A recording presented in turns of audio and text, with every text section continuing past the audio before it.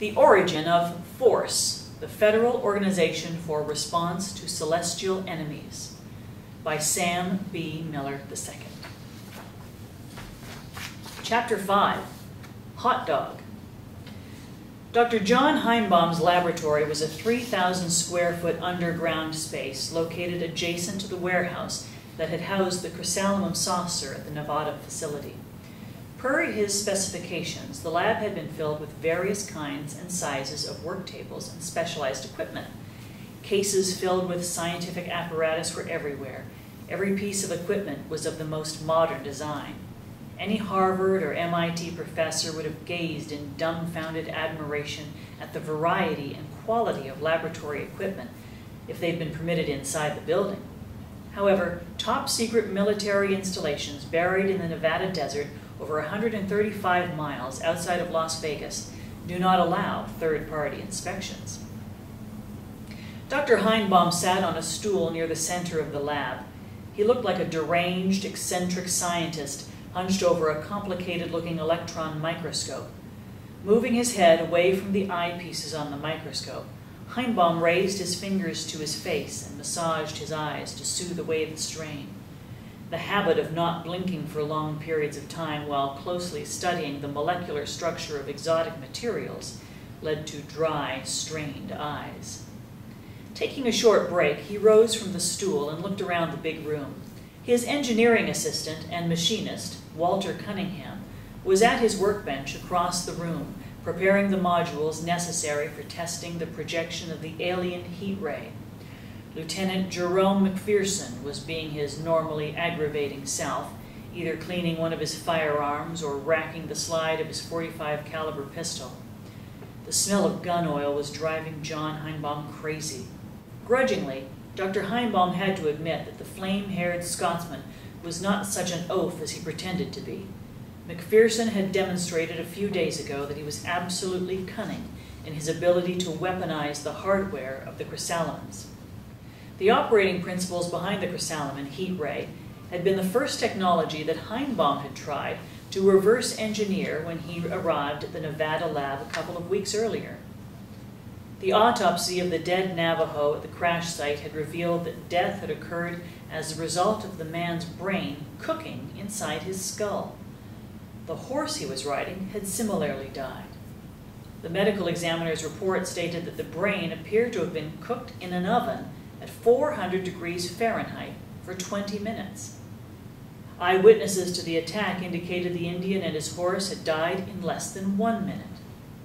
Heinbaum had reasoned that a focused beam of energy directed towards the horseman would accelerate the vibration of molecules inside a space enclosed by bone. With no ready opening to let the heat escape, the brain cooked.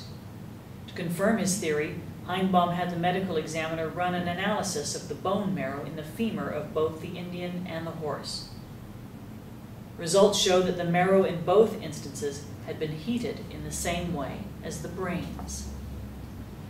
A close inspection of the alien saucer had revealed a series of black glass emitters along the outer edge. Black, glass-like filaments coated with a silver paint ran from the apertures to a central box structure located near the top of the main power source. Opening the box had revealed what looked like, for all intents and purposes, a light bulb similar in size to the standard 100 watt bulb found in all American homes. The logical deduction was that the source of the heat ray was the light bulb.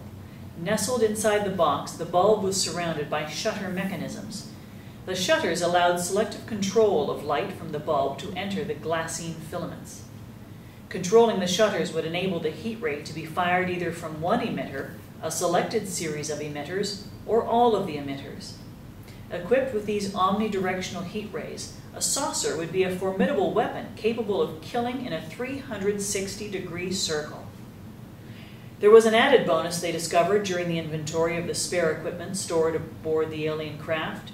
Two extra heat ray bulbs matching the one installed in the emitter box had been found along with eight power modules for the ray pistol. Cunningham, under the strict supervision of Dr. Heinbaum, had drilled into the mechanism of one of the spare bulbs and successfully duplicated its molybdenum, magnesium, mercury alloy coil configuration.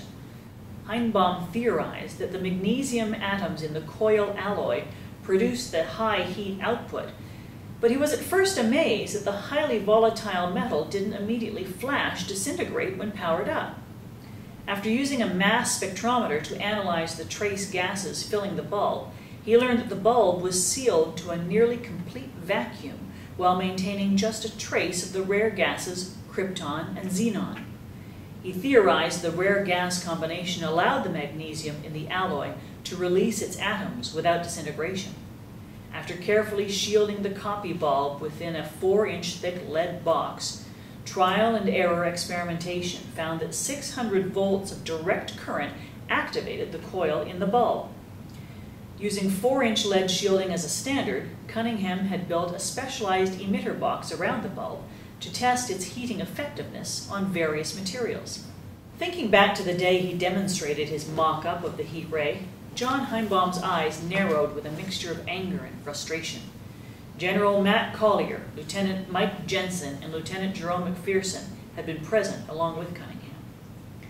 Gentlemen, Heinbaum had begun graciously, Please direct your attention to the apparatus on the workbench. On the glistening tabletop sat a silver metal box about three feet wide, two feet high, and two feet deep. A heavy hinged lid gave entry to a one-foot square open area in the left-hand end of the box.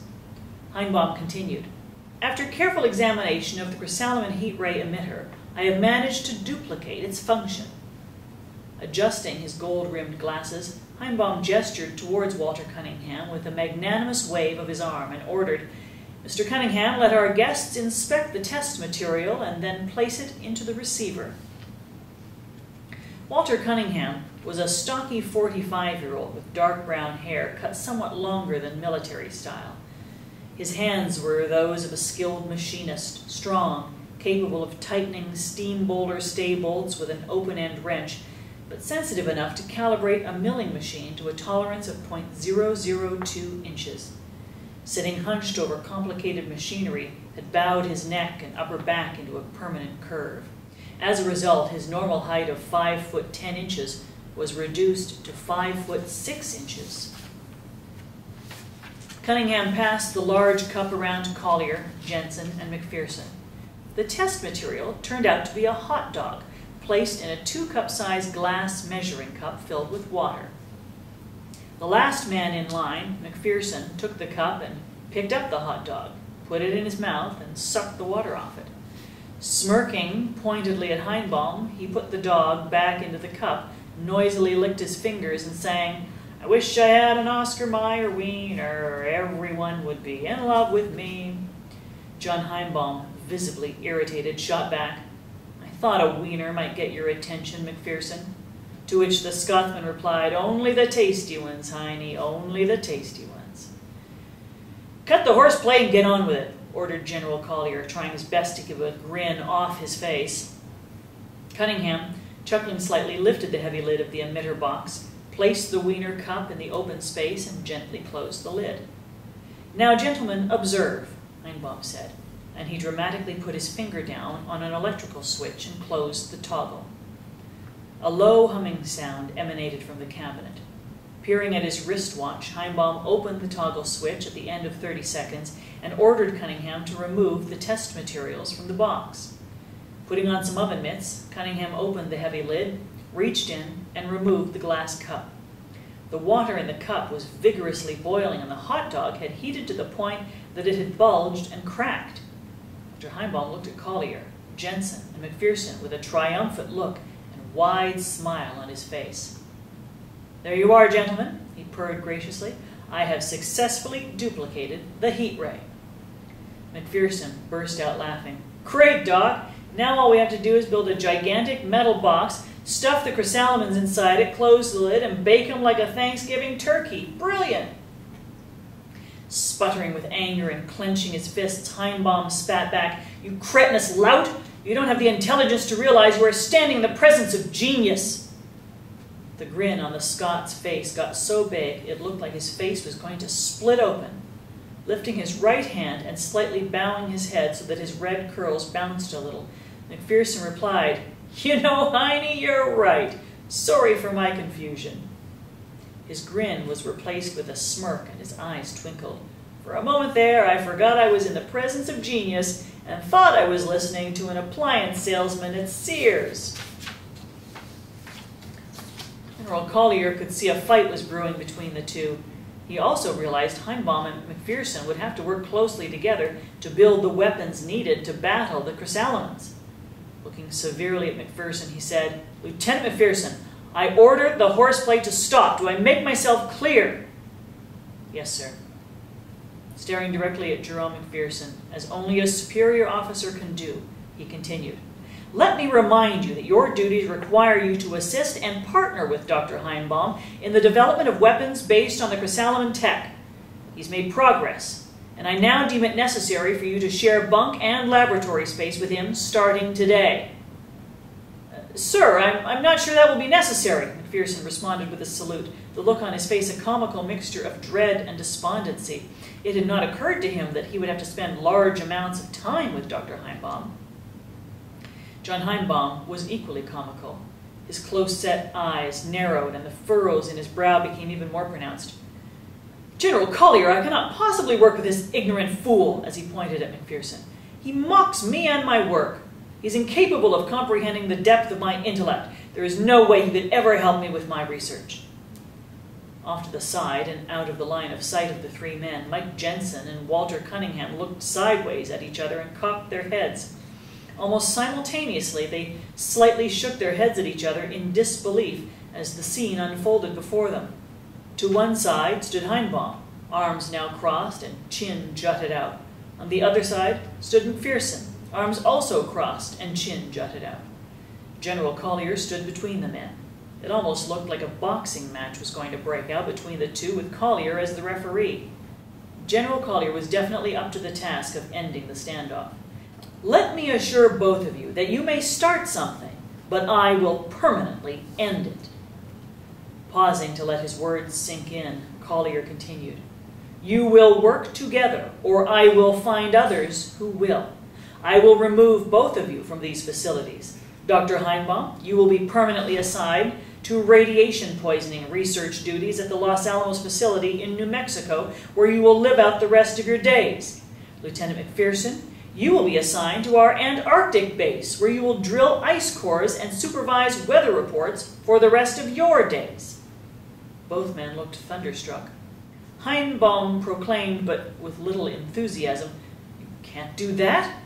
To which General Collier replied, You really don't want to test me, Doctor. Five days later, the collaboration between Dr. John Heinbaum and Lieutenant Jerome McPherson had resulted in a positive leap forward and that is what angered and frustrated Heinbaum as he reminisced about the first demonstration of his heat ray and jumped again at the startling racking of a pistol slide. It seemed like Lieutenant McPherson took extreme pleasure in embarrassing and irritating him. Heinbaum could feel his blood pressure increasing as he thought back about this morning's calamity. Shortly after General Collier and Lieutenant Jensen had departed the demonstration, McPherson had taken a claw hammer and a flathead screwdriver from supplies and left the lab. He had returned about an hour later, hefting a long black glassine filament he had pried from the outer edge of the saucer. The filament had a bulbous head on one of its ends. Working with Cunningham for the next few days, he drilled a hole into the lead chamber of the emitter box where Heinbaum's heat ray bulb was seated and inserted the thinner end of the filament into the hole so that it was exposed to the emitter bulb. He then caulked the hole in the box with some silver gunk that he had found in the items inventoried from the saucer. This morning, McPherson had placed the same glass cup full of water on the workbench about five feet in front of the bulbous end of the filament and put two hot dogs in it. Calling out in an overly loud voice for Dr. Heinbaum to join him, McPherson had indicated that Heinbaum should stand to the side of the emitter box, about three feet back from the hot dog-filled measuring cup. Walter Cunningham had positioned himself at the end of the lead box opposite the cup, arms folded across his chest. McPherson had then walked back to the rear of the emitter box where the activating toggle was located. Now, Doc, observe, McPherson had said with the same tone and tenor of voice that Heinbaum had used in the first demonstration days earlier, and with the same flourish used by Heinbaum, He dramatically put his finger down on the electrical switch and closed the toggle. The results were practically instantaneous and violent. The water in the cup began to boil within five seconds, and then with a loud, greasy sounding pop, both hot dogs exploded into a pink goo that splattered all over John Heinbaum's nice white lab coat. Grinning like a red haired demon, Jerome McPherson had said in a very insincere manner, Oh, sorry, Doc, I thought you were out of the debris zone. A blood vessel in John Heinbaum's forehead, just above his close set eyes, began to pound as he thought of the humiliation. With a deep seated menace, he silently mused, cursed red headed Scotsman will not get the better of me. I will discover the secret of that black filament, and when I do, I will create a weapon that will cook Jerome McPherson just like the turkey he is. Smiling to himself, Dr. John Heinbaum rose from his lab stool and headed toward the exit door, involuntarily jumping nervously as the pistol slide was racked repeatedly.